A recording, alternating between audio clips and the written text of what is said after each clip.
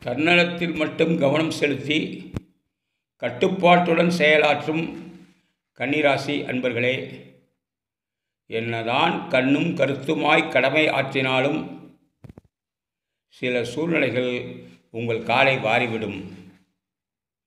உடல் ஆரோக்கியத்தில் கவனம் மிக தேவை. நாய் போன்ற செல்லப்பிராணிகளால் தொல்லை உண்டு. அலர்ஜி கொஞ்சம் கூடும் சிரமம் கொடுக்கும். இருப்பினும் தொழில் உத்தியோகத்தில் முன்னேற்றம் உண்டு. துணைவரிடம் முரண்பட வேண்டாம். இந்த மாதம் துணைவர்கள் ஆலோசனைகள் தோல்வியில் முடியும். காதலிப்பவர்கள் சிலர் பெற்றோரை விட்டு விலகி திருமணம் செய்து கொள்வார்கள்.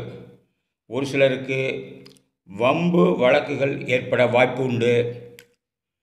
சிலர் தற்கொலைக்கு முயற்சி செய்வதும் உண்டு.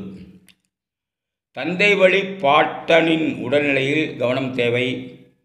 சிறிது காலம் தந்தையை விட்டு பிரிய நேர்படும் பூர்வீக சொத்துக்களில் உள்ள பிரச்சனைகளுக்கு தீர்வு காண இப்பொழுது முயல வேண்டாம். சிலருக்கு தாங்கள் இருக்கும் இடத்தில் வம்பு சண்டை பிரச்சனைகள் ஏற்பட்டு மன கஷ்டத்தை கொடுக்கும். தாய் வழி உறவுகள் முன்னேற்றம் சிறப்பாக இருந்தாலும் அவர்கள் உங்களுக்கு உதவ மாட்டார்கள்.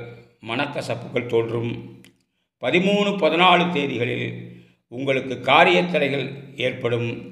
இருபத்தி மூணு இருபத்தி நாலு இருபத்தஞ்சில் தேவையற்ற குழப்பங்கள் குடும்பத்தில் நிலவும். அமைதி காக்கவும்.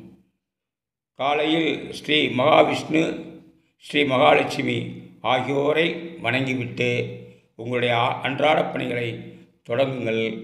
நன்மைகள் ஏற்படும்.